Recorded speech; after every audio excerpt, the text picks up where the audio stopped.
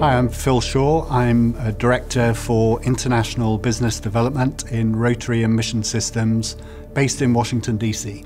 I grew up in a naval family. My father was uh, in the Royal Navy along with my uh, uncle on my mother's side. So I was very familiar with the Navy, but my real interest grew into aviation uh, when I was at school in the 70s when the Sea King entered service. So I guess my real interest in the Navy and in flying helicopters grew during the early 1980s uh, when I saw it all on TV in full glory during the Falklands War.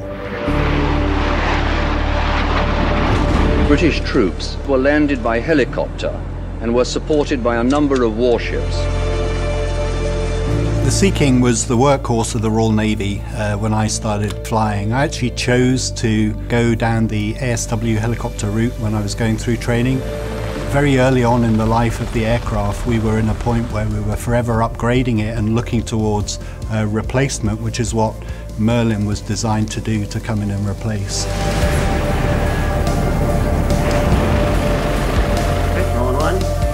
I'm Rod Makoske, Chief Engineer and Senior Vice President of Engineering and Technology at Lockheed Martin.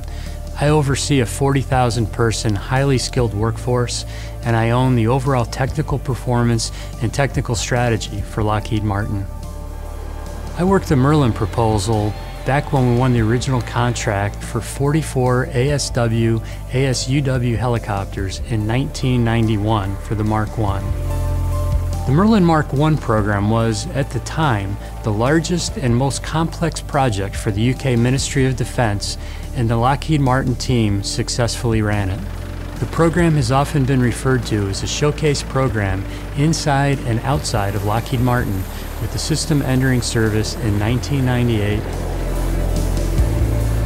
what a wonderful privilege to be asked to uh, be the first commanding officer of a Merlin squadron. It was a dream come true, if you like, for me to be uh, CEO of a squadron, but let alone to bring in and introduce a brand new aircraft.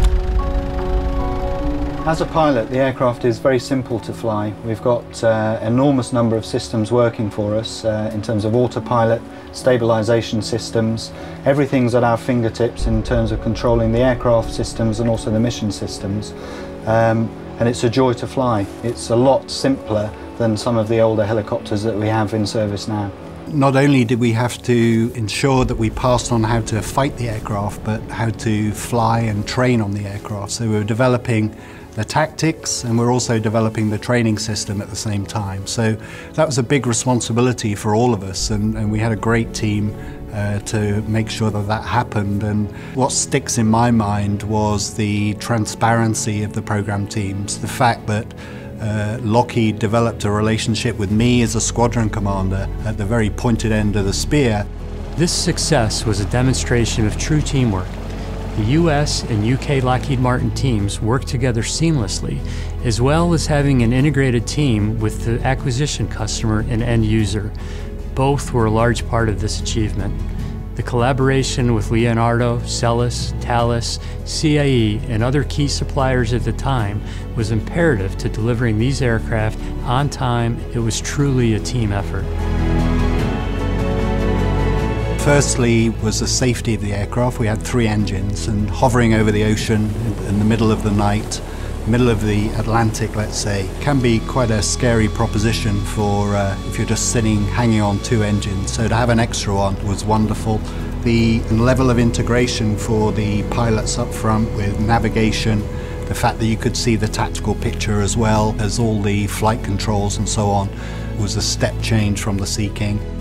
That kind of capability was a huge step forward for the crew integration, the way we were able to contribute to any tactical scenario. And then, of course, the quantum change in capability of sensors. Again, everything was just a lot more efficient, a lot more capable than previous generation platforms. And so this was truly a quantum leap in capability from what we were used to. The Merlin Mark I was developed and integrated with acoustics, ESM, sonar homing, and radar, offering the UK a best of breed solution in ASW capabilities when it came into service in 1998. But in a time of rapidly progressing technology, the systems and mission demands evolve. The MCSP upgrade offered the MOD an updated system architecture, improvements to the mission systems, and new radar and sonar subsystems. Most recently is the last of the Sea King airborne surveillance and control equipped aircraft were reaching their out of service date. The capability needed to continue to provide the new Queen Elizabeth class aircraft carriers with airborne early warning capabilities.